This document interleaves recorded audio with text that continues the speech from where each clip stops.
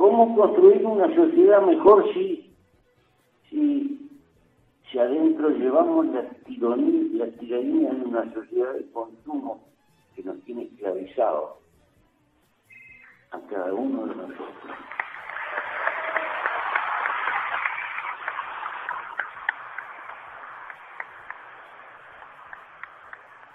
es un camino infinitamente más complejo que nuestros sueños juveniles no podían descubrir.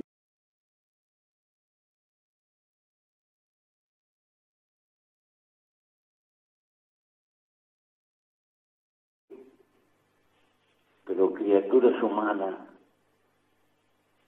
necesitábamos cierto grado de satisfacción, cierto grado de justificación para poder vivir. Entonces, permítanme decirles, por ahí sacaron una leyenda, soy el presidente más pobre. Yo no soy pobre.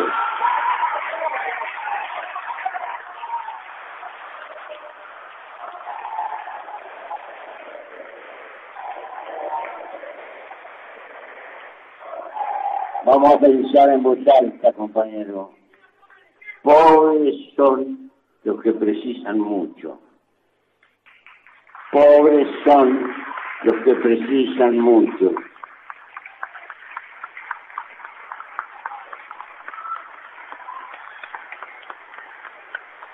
No entiendan esto. No entiendan esto como una defensa del primitivismo. Entiendan esto con un sentido muy profundo. Ese sentido profundo es que la vida es hermosa. El estar vivo es casi un milagro. La vida de cada uno de nosotros es casi inexplicable por la cantidad de circunstancias en contra de Por lo tanto, ningún valor es más importante que la vida. Pero la vida es un objetivo en sí mismo, vivirla. Lo que mucho es sembrarla a favor de los demás, de los que van a quedar. Y esto significa que para vivir hay que tener tiempo. Las cosas más hermosas de la vida, las que nos pueden gratificar, tienen que dedicarle tiempo. No se precisa tiempo para el amor cuando se tiene 20, 25 años. No se precisa tiempo para contemplar algo que admiramos esas cosas elementales que no se compran y que a cada uno le gusta. A uno puede ser pescar, el otro jugar al fútbol, el otro estar panza arriba bajo un árbol, no sé, porque eso es la libertad humana. Somos libres cuando hacemos con nuestra vida lo que nos gusta.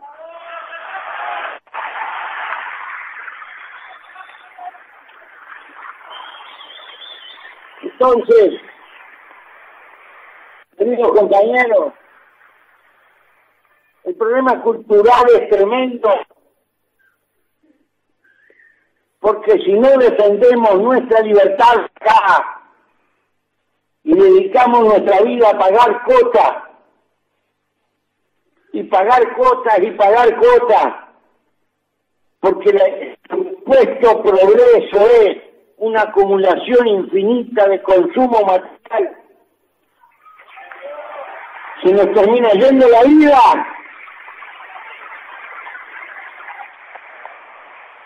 Y la vale más que eso. Entonces, yo no doy el ejemplo de nada. Yo descubrí estas claves adentro, en las profundidades del calabozo. Tuve siete años sin leer un libro. No me dejaban leer pude vivir. Y si no hubiera vivido esos años, no sería lo que soy. Porque se aprende más del dolor que de la bonanza. Entonces, ¿cómo es posible que haya vivido más de una década como tanto, como otros compañeros? No porque me gustara, me lo impusieron. Yo no fui en cana por vocación de héroe, fui porque me agarraron. Y me agarraron porque me dediqué a cambiar el mundo. Y el que quiere cambiar el mundo aceleradamente sabe que se la van a cobrar. Por eso, la noche que tenía un colchón me sentía feliz. Eh, ¿Cómo es posible entonces que quede nuestra vida engenada atrás de la desesperación de cambiar el auto cada dos años, cambiar la cocina, cambiar esto, y lo otro, y pa. Y la, y la casa necesita mi pieza, y después hay que conseguir una sirvienta que venga a fregar y sacar la munda y... Si todo puede ser mucho más simple, más sencillo. No estoy defendiendo la pobreza, estoy defendiendo la sobriedad.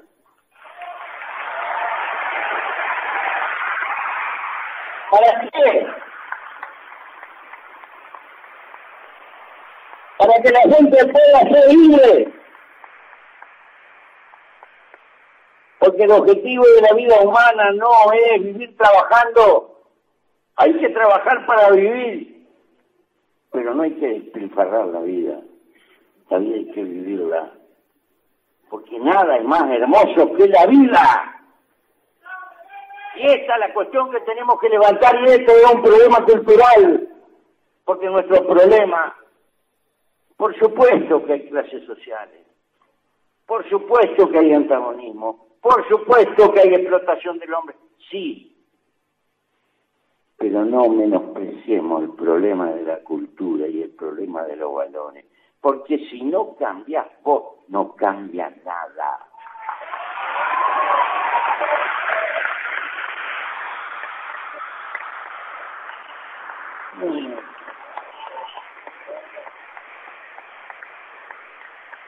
Es eso, compañeros.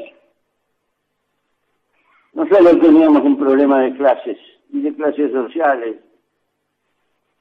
tenemos un problema civilizatorio. Hemos inventado un tipo de civilización que nos engulle, nos traga, necesita hacernos mercadería. Y necesita que nuestro mayor tiempo se gaste en la vida trabajando y consumiendo.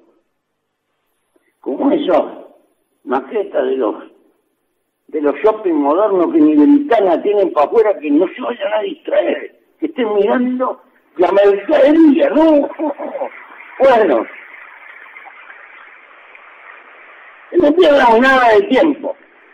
Trabajar y consumir y pagar paquetes y pam, pam, pam, pam. Y todavía que los familiares paguen el entierro. No Bueno, es el tipo de civilización que hemos montado. Y si no vamos a un enfrentamiento de carácter cultural, los otros no alcanzan. Lo aprendí en los monoshow hace muchos años, muchísimo. Uh, tanto que yo era joven. Yo había ido de acá al Río de la Plata con una unas camisas que habían salido de nylon, se llamaban Porex, insoportable pero tenían una pinta bárbara. Y los pobres rusitos veían maravillados la mercadería que venía de Occidente, me la querían comprar. La esclavitud de la mercadería. Y tal vez no se daban cuenta lo que tenían. Pero adoraban el fetiche de la mercadería. Sonso el hombre, ¿eh? Bastante bombados somos los hombres. Bueno.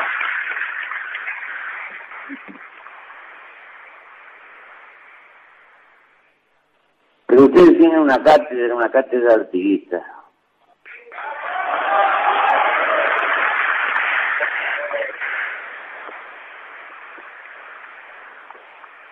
Hace mucho, yo no tengo duda que Artigas es la pata popular de la Revolución de Mayo.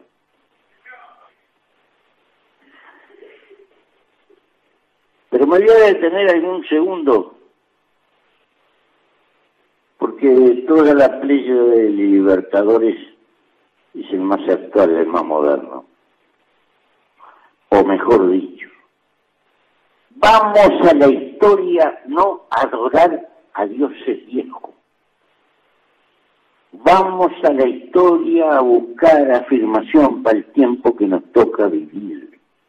Por eso la visión histórica cambia con cada época, porque cada época tiene su dilema.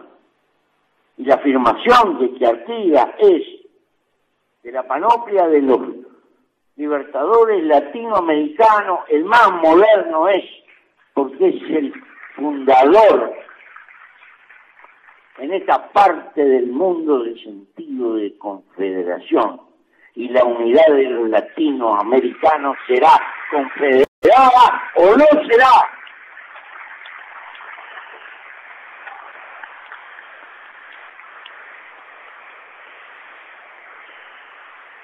Esta es la cuestión. Las patrias, mal o bien, están hechas. Todas tienen su vigencia todas existen. Pero en esta época de globalización, de gigantescas unidades continentales, ¿por qué, creen que es China? China es un Estado multinacional milenario. Una vez estuve en un lugar de China que había seis traductores, a saber lo que decían. Lo que ellos llaman las minorías minoría de 50 millones. Eh, la India es un estado multinacional.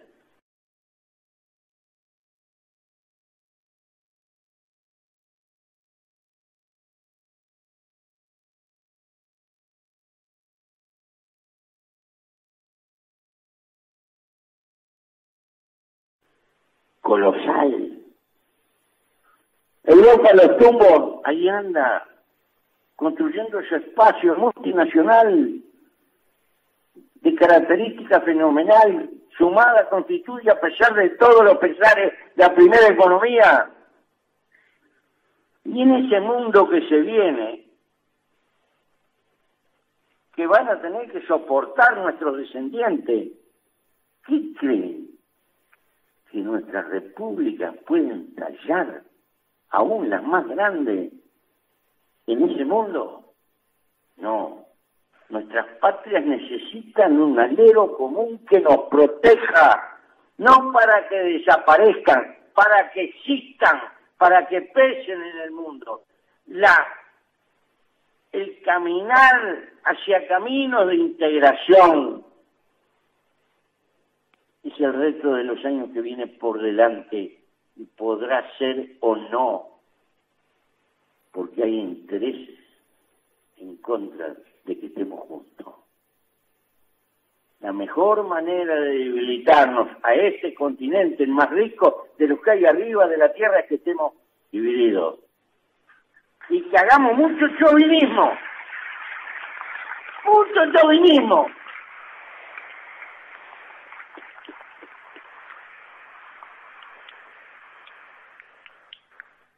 Y este es el dilema y es un dilema cultural, porque las universidades tendrán que ayudar a la evolución cultural.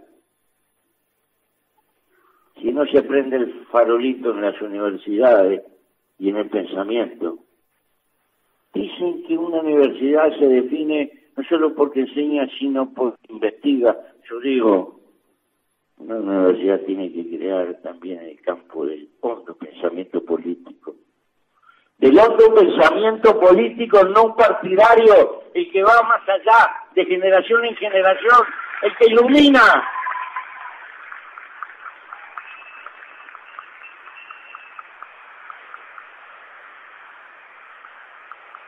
La peor balcanización es la del cerebro.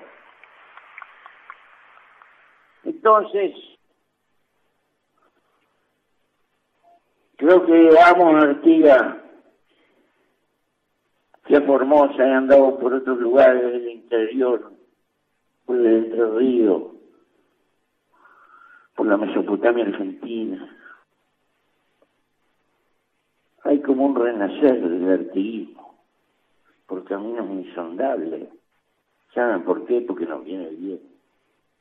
Nos viene bien por la tarea, estamos buscando en el pasado una afirmación que nos sirva hacia el porvenir. Esta es la cuestión. Y Artigas no es de nadie y es de todo. Tú hasta la rareza de pensar en los indígenas, transformar generales a indios como Andresito, símbolos de misiones. El último escuadrón que se le presentó, los indios Pone, del Chaco. Manejaba batallones de negros libertos. Habló con un sentido completamente republicano en el sentido de su época. Y se internó en el corazón de América para morir allá, corazón de América. Se enterró en la soledad de América. Sujeto raro que desconfiaba en la ciudad su gran error político fue no haber atado los matungos en la pirámide de Mayo y haber mandado a Ramírez. Un grave error histórico.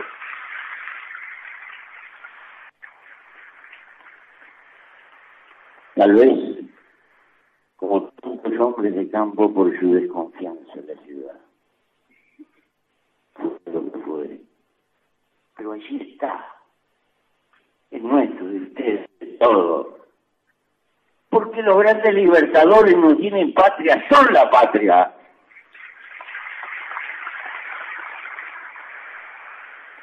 Son un mensaje, como Bolívar, son un mensaje hacia el porvenir. Simbolizan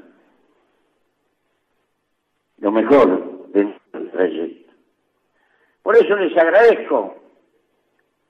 Y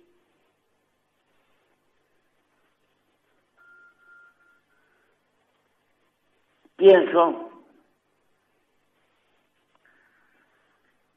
que nuestra América Latina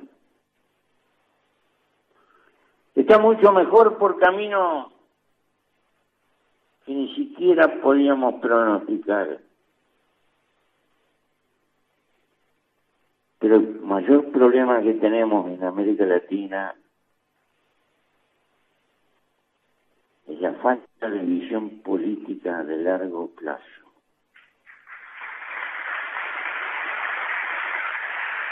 Nos estamos quedando cierto. ¿Por qué? Porque es entendible, porque los problemas de todos los días nos insumen y nos comen la vida.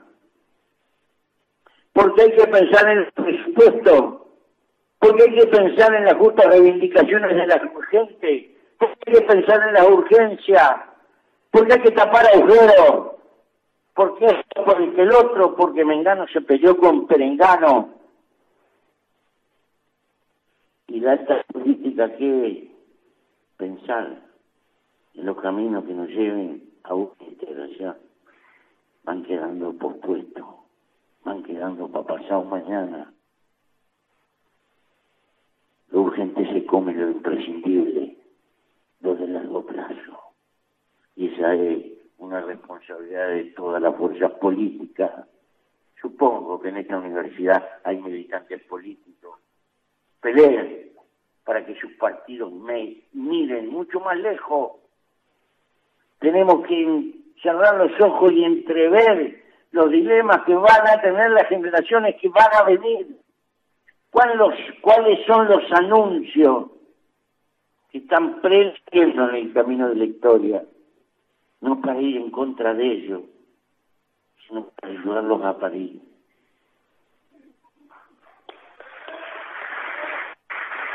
Entonces,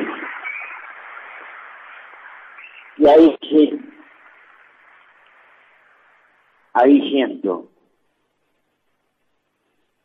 tal vez por viejo, porque me voy acercando a la muerte,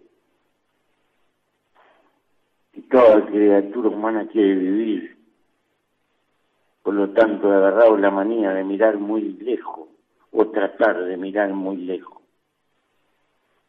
pero veo que a mis contemporáneos les cuesta enormemente, porque la administración de todos los días, los zapatos que me tengo que poner, y la corbata que me tengo que poner, y la foto que tengo que sacar, y esto y el otro, también suma la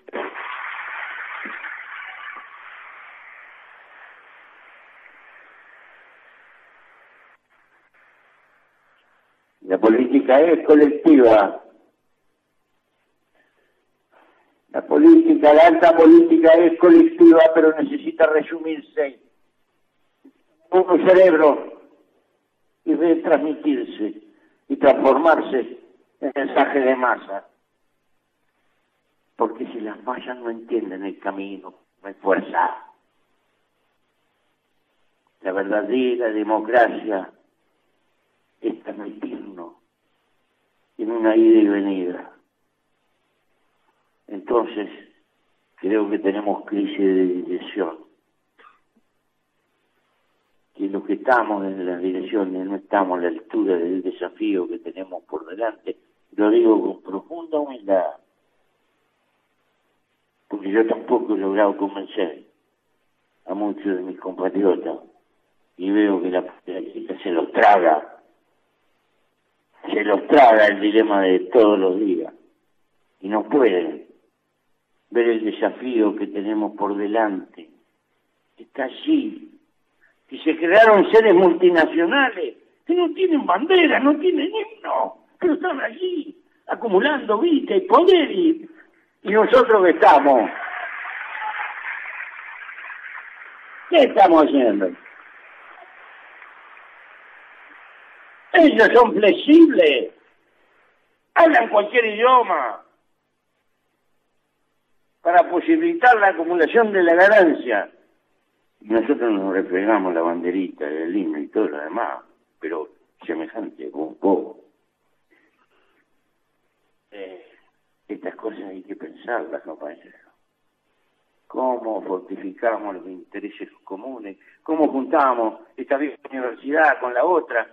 Nuestras investigaciones son la crítica el mundo nos sacó una ventaja tremenda en el campo del conocimiento.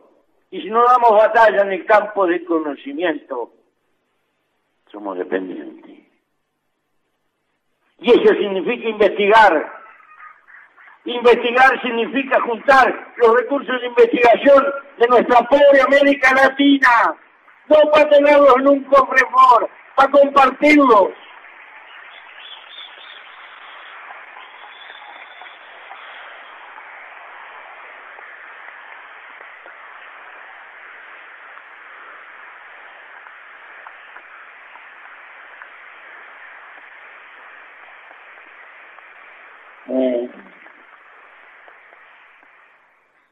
Así, compañeros, que hay mucho por delante.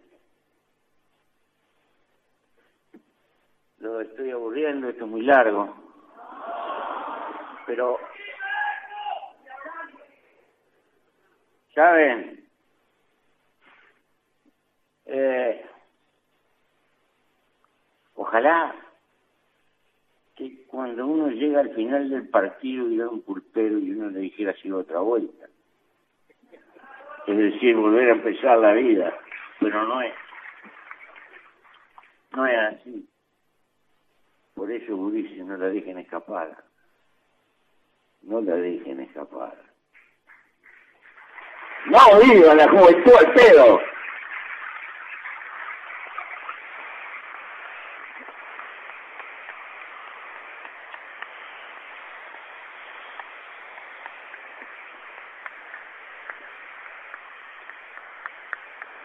Dale el contenido, en causa, quedan las... No se dejen robar la vida, no se dejen. Y ya se nos va en el duelo infinito con la naturaleza. Pero vívanla con la mayor intensidad posible, porque no tiene retorno. La vida eterna es esta, pasajera, cortita, hermosa, que está allí. Y sí o no, depende de ti que te la dejes robar. Y significa tratar de transmitirse. Ya que no podemos vivir, tratemos que quede algo de ese aliento que le sirva a otros y a otros, por aquello que dije al principio, hay que ir de escalones, en escalones. Es una acumulación. No llegamos jamás a tocar el cielo con la mano, pero estamos mejorando nuestra pobre y rotosa humanidad. El hombre es el único animal capaz de perfeccionarse a sí mismo. También la única bestia capaz de destrozarse y destrozarlo todo. Está todo potencial dentro del hombre. Tal vez la naturaleza nos puso la conciencia como un elemento para que la propia naturaleza se pueda recrear. Tal vez.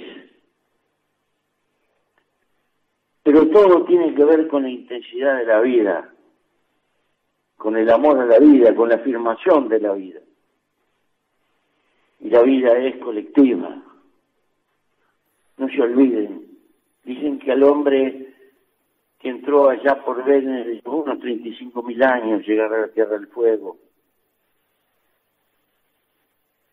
Dicen que el 90% de la existencia de este bichito humano arriba del planeta lo vivió en la prehistoria. Y en esa larga noche que en el fondo probablemente era un día, porque lo mío y lo tuyo no nos separaba. El hombre dependía del grupo. Pobre es el que se quedaba sin familia. El hombre es un animal gregario. No puede vivir en soledad, necesita de los otros hombres. Y es muy probable que esa larga historia es un mensaje antropológico en el disco duro de nuestra memoria genética. La historia nos fue haciendo individualista y el mercado nos hizo capitalista.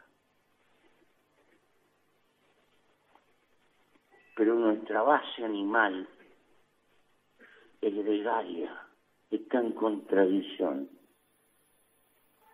La lucha del porvenir son racionalmente poder ir organizando la sociedad en función de lo que somos, de lo que somos como naturaleza. A ver si me explico.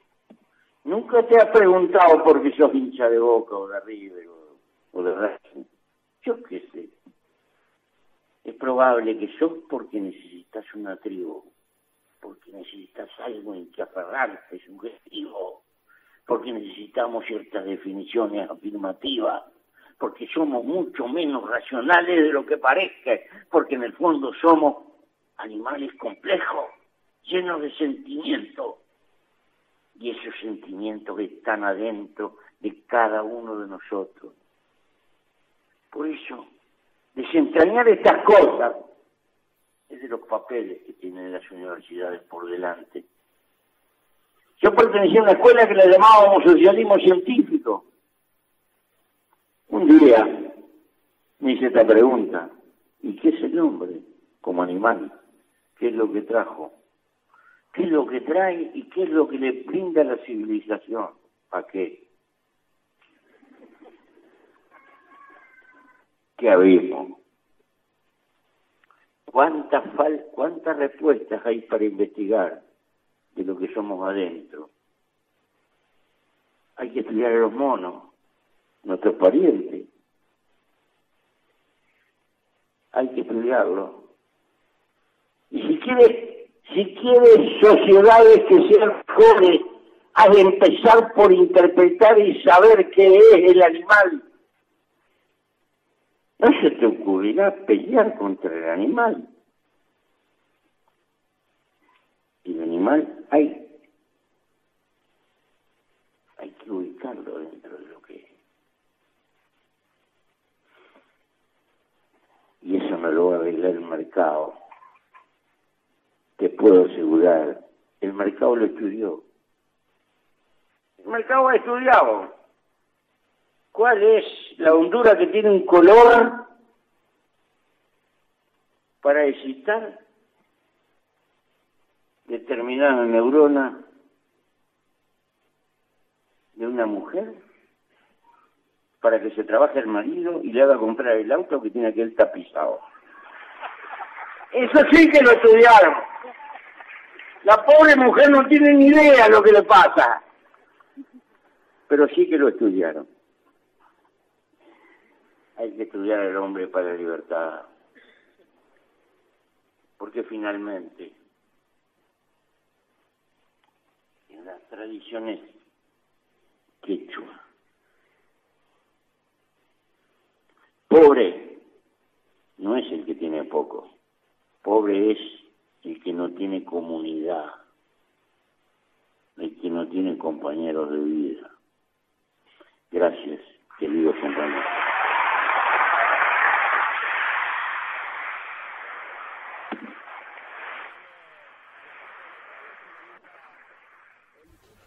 Hasta aquí hemos escuchado el discurso del señor presidente de la República Oriental del Uruguay, don José Alberto Mujica, en el acto en que fue instituido el doctorado honoris causa por la Universidad Nacional de La Plata. Directamente desde el rectorado de la presidencia de la Casa de Altos Estudios se ha escuchado en primer término el discurso del presidente de la Universidad Nacional de La Plata, arquitecto Fernando Tauber, y seguidamente, quien recién ha finalizado sus palabras, don José Alberto Mujica. Desde Estudios Centrales, ubicado en Plaza Rocha 133, segundo piso, La Plata, Buenos Aires, Argentina, reanuda su transmisión LR11, Radio Universidad Nacional de La Plata, en la frecuencia de 1390 kHz. Hacemos una pequeña pausa musical.